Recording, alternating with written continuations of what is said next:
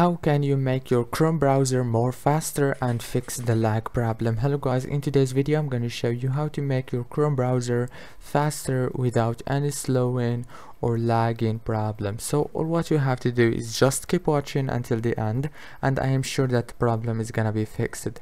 So the first step is go to the top corner click on those three dots and then go down all the way down until you find the settings option and then go right here to the system.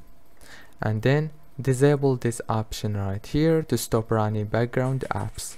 And after that disable this option to stop the hardware acceleration. And after that all what you have to do is go back. And then all what you have to do is go here and turn off all the applications that are working right here. Just click exit exit exit and the last step is open the task manager from here. Click on your right mouse and click on task manager. Go to details and you will find chrome. Click on your right mouse click on set priority and choose high. Or you can choose above normal.